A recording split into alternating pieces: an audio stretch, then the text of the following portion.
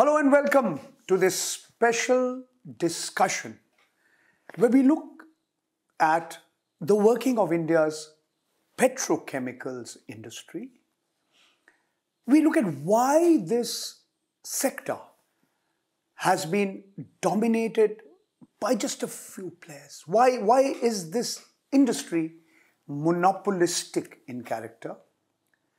And we're going to also look at how this sector may change in the near future with the entry of a new player. I'm very happy to welcome Om Prakash Singh, an engineer by training, currently an advisor to the non-government organization called the Center for Financial Accountability. OP, thank you so much for giving us your time. Let's start our conversation by you giving us a broad overview of India's petrochemicals industry. Now we know petrochemicals or plastics so a range of plastic products like PVC polyvinyl chloride, HDP, high density polyethylene, LDPE, low density poly polyethylene. They are used widely for a wide range of products soaps, detergents, explosive, rubbers, paints, besides everything from bottles to containers and buckets. We have several small units, thousands of them downstream units, but a few players at the top who are making the, the, the, the, the petrochemical products. How do you see the working of India's petrochemicals industry in the context of various commitments that have been made by the government of India to international organizations? Because manufacturing petrochemicals is highly carbon intensive. So I'd like you to talk a little bit about India's international commitments and where the petrochemicals industry fits into these commitments. Thank you for having me here, Paranjoy.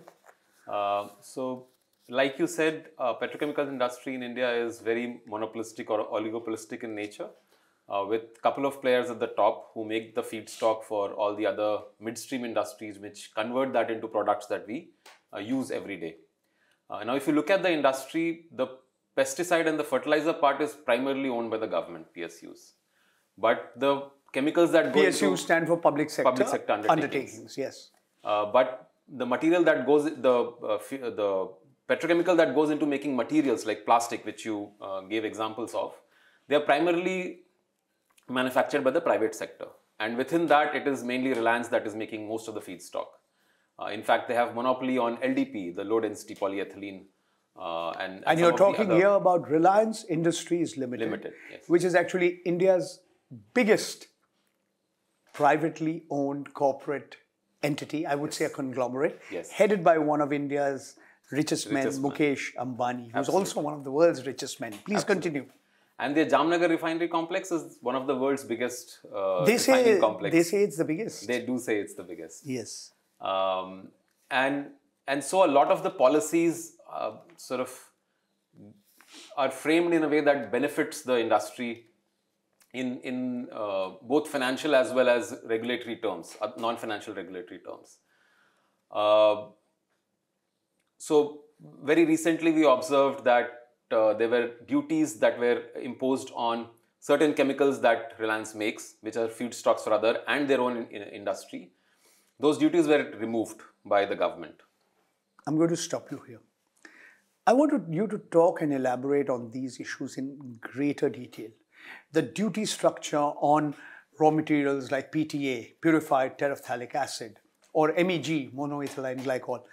But can we first talk a little bit about what are India's commitments to the rest of the right. world and where India's petrochemicals industry, I mean, how it fits in or does not fit in into India's commitments. Yes, please. Right.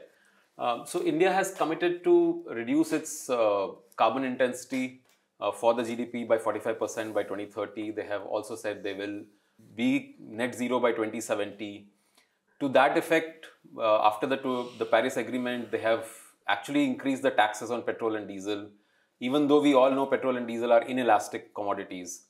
Uh, so just by increasing the price, the consumption will not go down. And or, or not go down proportionately. Not go down proportionately. You're talking about petrol, diesel. Yes, the they're taxed at more than 60% today. Whereas plastic and other petrochemicals, which will be affected by pricing, they, were, they are some, to some large extent price sensitive, and this is uh, seen in multiple studies across the world, not only in India, that if the price goes up, then the consumption goes down.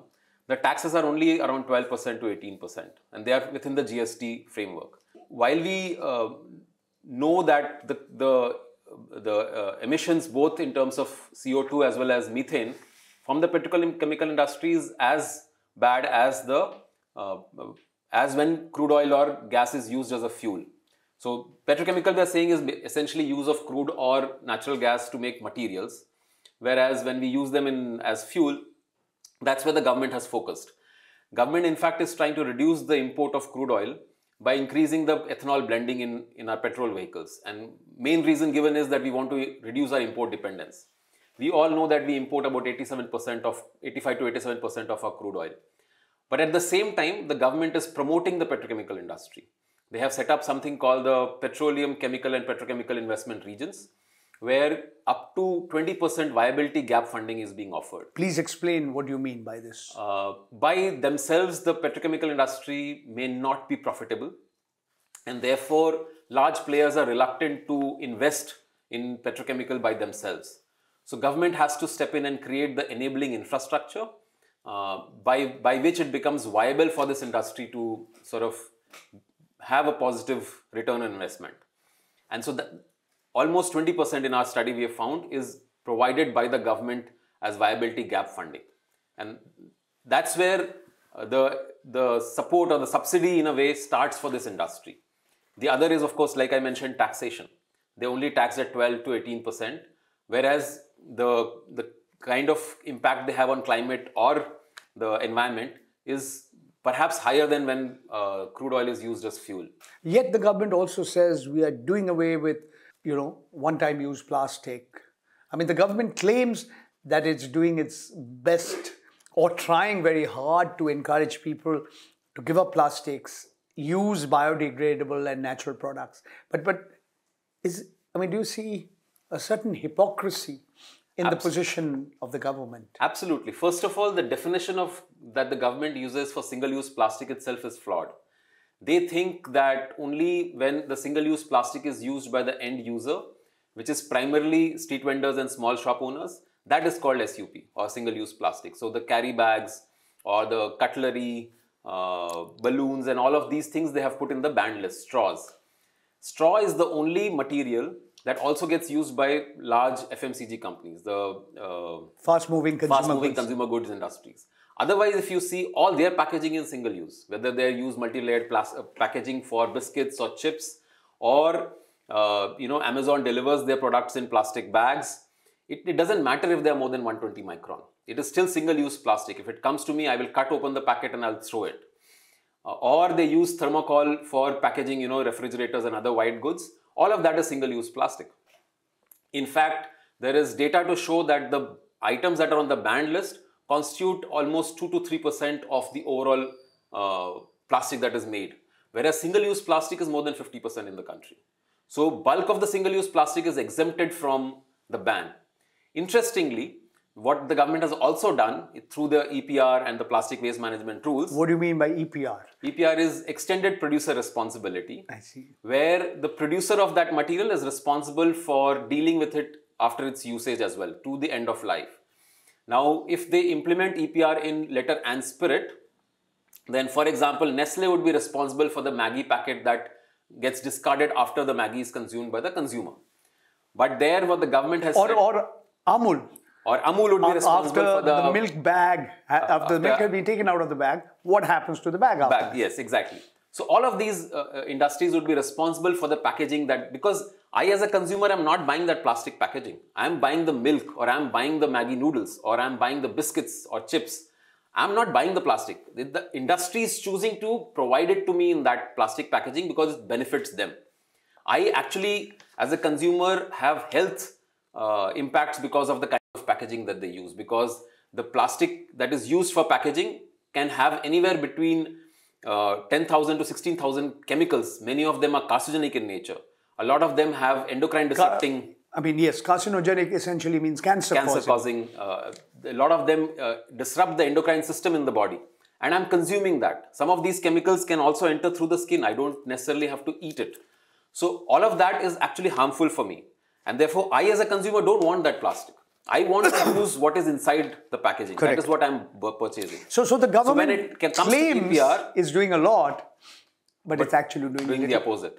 So I'll it's the opposite or little or nothing. No, it's actually the opposite. So that's where I'm coming to. When they came out with the extended producer responsibility rules under the plastic waste management rules amended 2018 uh, and 2021, they said the EPR is to the extent that the industry or the company has to collect back that same tonnage of plastic from the market. So now Nestle has to buy back. It, it uses a certain amount of plastic. single-use plastic. Therefore, it should buy back from the mar- market uh, equal uh, amount of plastic in the that form of waste. Not, it, that may not have the Nestle brand on it. So they can go ahead and buy any plastic, and then they need to burn it in a waste to energy plant or a cement kiln. Now, burning it, they are saying will be categorized as recycling. Nowhere in the world you burn fossil fuel. Plastic is essentially fossil fuel. You burn it and you say you have recycled it. So that's the first problem. The second is that once you burn it, the energy that it generates is called renewable energy. Now, again, nowhere in the world you burn fossil fuel and you call it renewable energy. Why have they done that? Because by itself, you cannot give subsidy to this industry.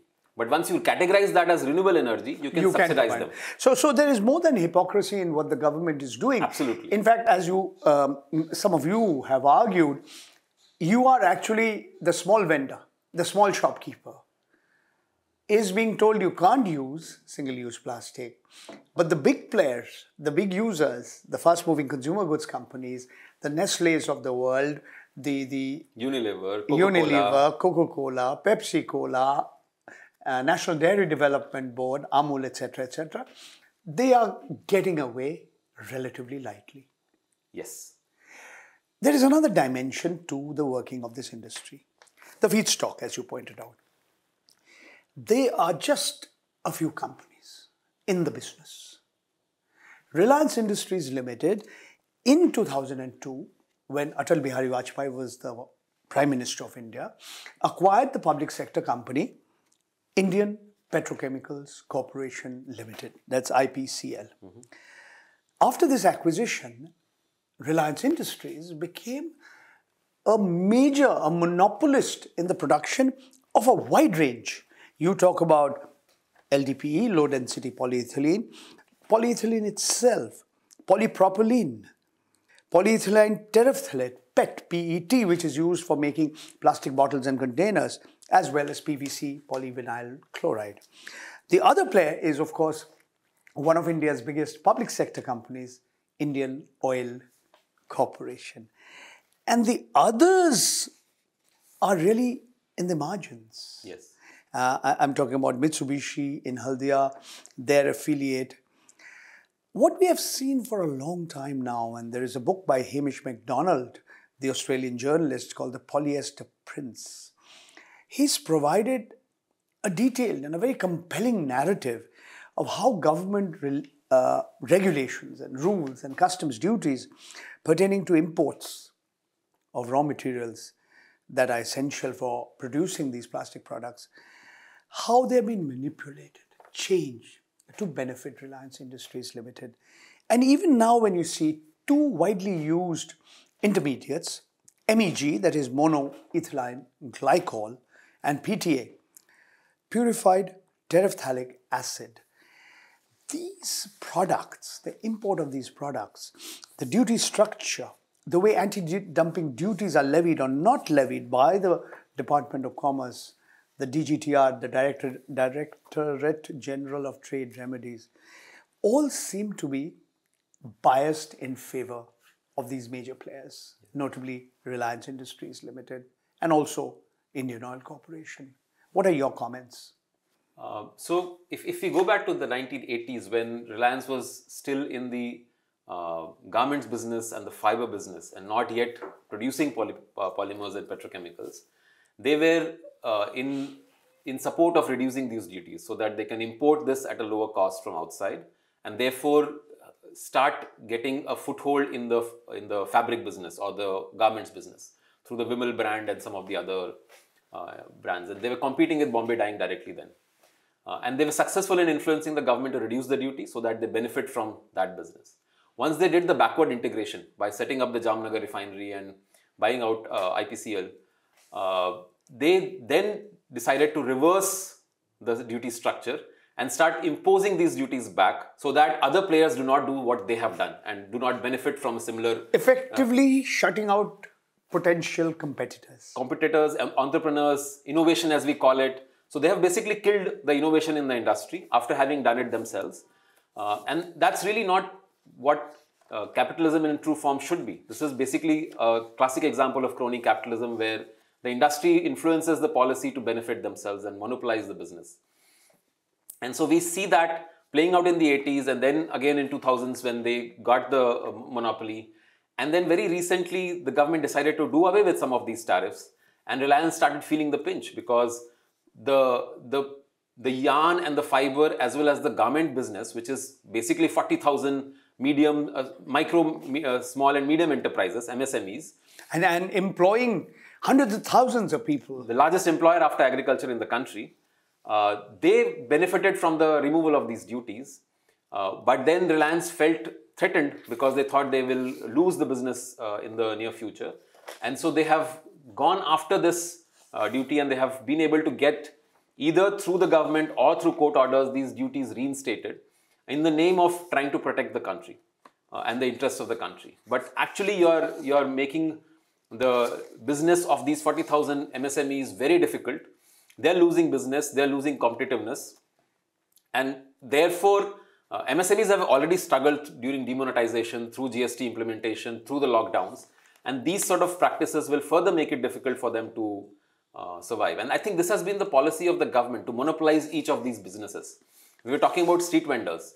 When I put certain restrictions on the plastic that they use, but don't put restrictions on packaged food like Maggi, what essentially I'm doing is I'm taking some business away from street vendors and giving it to these corporates and making them larger. And so this is being this is playing out from MSMEs to Reliance.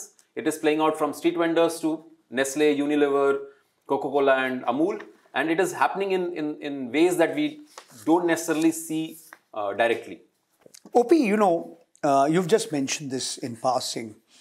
There are at least 12,000 units that are making products using petrochemicals. And these in turn outsource to other small, micro, small, and medium enterprises. And as you, as we have just discussed, literally hundreds and thousands of hundreds of thousands of people, lakhs of people, they depend on these. I mean, they're employed with this in this sector. Now, we've seen a running battle of late with these associations that represent these smaller and medium-sized units and the big players saying, look, why are you protecting Reliance? We are importing, as you pointed out, almost 90% of our total requirements of crude oil. In the case of various kinds of plastic products and, and, and raw materials, we are perhaps importing a smaller proportion, mm -hmm. but we are nevertheless importing it. And by protecting the likes of Reliance Industries Limited and Indian Oil Corporation, you are actually depriving these smaller units of a cheaper source of raw material to make all the products that they are making, including textiles, blended fabrics, besides all these plastic products, whether it be buckets and bottles, or a whole wide range of products. But invariably, these players too are fighting a losing battle most of the time. Yes. All their pleas to the government, to the Department of Commerce, to the DGTR, that is the Director General of Trade Remedies, more often than not, tend to fall on deaf ears. They even lose to the courts because of just the muscle power and the influence that Reliance has on, on the policy space and the regulation space. So I absolutely agree. It's, it's a losing battle. Uh, and the monopoly is only going to get stronger. And there is one paper by uh, Viral Acharya, who's a former deputy governor of RBI. Ah, Viral Acharya. Viral Acharya. How, the, how these big five guys are causing the inflation that the country is seeing today. So the government is. And, and Viral Acharya, mind you, is no left wing socialist. Yes. He's about as right as right they come. Yes. And this paper that you're talking about was made for the Brookings Institution yes, in the US. absolutely. That's the one. That's right. Yeah. So he's, Tata's, he's pro Birlas, market. He's, he's completely capitalist. Reliance, uh, Airtel, and Adani. Adani, yes. Yeah, these five, These five conglomerates. They're contributing to inflation. Inflation. Yes, please continue. Uh, so this knowledge is now available with the government that these people are causing inflation, but they're still supporting and increasing their size and their power and heft in the market, and that's absolutely against the people of the country. And it's uh, it's in if I may use the term, it is anti-national what the government is doing, but they still continue to do that. And as you say, it's directly affecting the livelihood of. There are different estimates. One of them is 10 crore, 100 million. Some people say 150 million people. They are directly impacted. Their livelihoods. As you said earlier, the manufacture of textiles generates the largest numbers of jobs in India after agriculture. What do you think is now going to happen when the Adani Group enters the picture? It's planning a major project in Mundra in Gujarat. I've had a detailed discussion with Swati Seshadri of the Center for Financial Accountability on the subject. And she's talked in some detail about the environmental uh, uh, consequences of this project. And this is using the cheapest, but also the dirtiest technology yeah. in converting coal to polyvinyl chloride. And you're importing the coal. Mr. Adani's conglomerate is importing the coal from mines that it own operates. It's coming to India, to the port which he operates, and then used in a plant which he owns. So you have these monopolies cutting across sectors. Yes. And it's going to be funded by public sector banks. SBI is uh, going to Much be the, of it yeah. will be funded by a consortium of banks headed by the State, State Bank of India, correct? So it's ultimately using our money to create a duopoly. At, at best, it will become a duopoly between Reliance and Adani. And that, of course, that fight will be very interesting to see how it plays out uh, and whether it benefits the people or it only continues to benefit the two, uh, two of them is, is to be seen. Uh, but uh, the PVC industry itself is, like you said, it's using the dirtiest raw material, whether it's energy or material. Coal is considered the dirtiest source. And the output PVC is no good at all. It's one of the worst plastics that you can use. In many countries in Europe, uh, many cities in Europe, they've actually banned PVC for construction because when there is a fire, most people don't die because of the fire. They die because of the toxic fumes that are uh, in the immediate environment. And PVC produces one of the most toxic fumes there is. And so they realize that it's a during fires this can be a big hazard. So they are starting to ban PVC. Whereas in India we are promoting PVC not only in construction but also all the banners that we see around us they are made from PVC, what we call the flex banners. And any election you will see it's it, the whole city gets splattered with these banners of political parties of all shades of. And they're uh, all using plastic. They're all using plastic. That's right. My last question to you, and we'll sort of conclude on the note on which we began. We are generating huge amounts of plastic waste. One estimate says that approximately 9.5 megatons of plastic waste are being gener uh, gen generated every year. As the world's most populous country, we are generating about, we are the fifth in the world in terms of generating the waste. And nearly half of this waste is ending up in landfills, it is uh, polluting water bodies, rivers, and definitely exacerbating environment, the environment of this country. Now, while you're talking about reducing emission intensity over the next seven years by 45%, while, you, while you're talking about the whole idea of carbon neutrality and India being a net zero country, a goal by 2070, everything that the government is doing seems to be contrary to what it is claiming. So maybe you can conclude by telling us, the viewers of this program and the government of India, what needs to be done now? What needs to be done to stop this hypocrisy? I think the answers are fairly easy, not easy to implement, but fairly easy to imagine.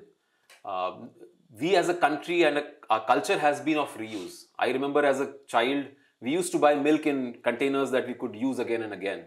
We would, we would buy a lot of other essentials in our uh, cloth bags and so on from the neighborhood shop. So that does two things. One is it reduces the single-use plastic and promotes reuse and better environment. And two, it promotes the neighborhood businesses in, in a way that today is, is breaking that chain and we're moving towards uh, you know, big baskets or uh, Reliance stores and so on.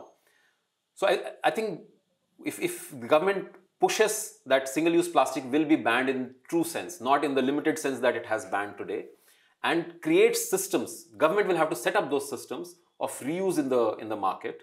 Some of it will have to be at individual level, some of them it have, will have to be at system level. But if reuse is imposed on the country, it will benefit the environment, it will benefit the health of the people, and it will bring back our traditional and cultural ways of living. Because when plastic entered, it completely decimated those. You know, now in temples they're using plastic uh, packaging, which I cannot imagine in most good uh, larger temples don't allow it, but uh, smaller temples they don't have the understanding, and so they have started allowing for these. I mean, I mean, most people don't even segregate their waste. They don't segregate the waste. But if if we reduce single-use plastic, I think segregation as a problem itself will reduce as well. Uh, of course, because the waste is unsegregated, it's mixed waste, the government doesn't know what to do with it. And then the, the whole machinery is fighting only at looking at what to do with the waste. But if we stop generating that waste, if we, as we say, close the tap or reduce it at source, the problem will become much easier to solve at the tail end. But this is not a problem that you solve at tail end. For example, when there was more sulfur in the, in the tailpipe emissions, we did not keep attacking the engine. We also went and changed our refining process and said the sulfur in the petrol and diesel has to reduce. The lead in the petrol and diesel has to reduce. Some amount of it you can do at the engine end, but otherwise it has to be at the source. The change has to happen at the source.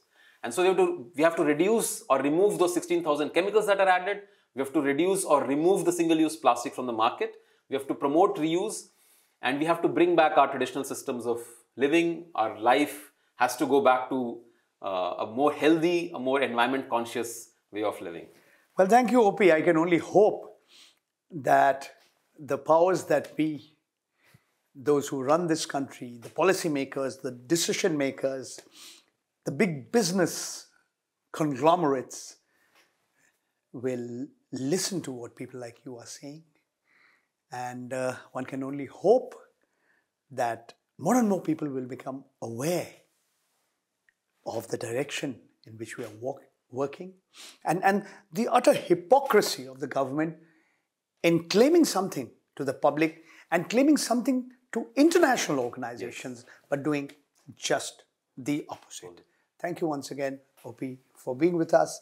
And you've just heard and watched Om Prakash Singh, advisor to the Center for Financial Accountability, discussing the way the petrochemicals industry is working in India, its monopolistic character, the how it's likely to change with the entry of the coal to polyvinyl project proposed by the Adani Group, and at the end of the day, the utter double standards, the utter hypocrisy of the government in claiming it's doing something, it's doing a lot to protect the environment, including controlling the use of single-use plastic, but in effect, doing just the opposite. Thank you very much for being with us. Namaskar.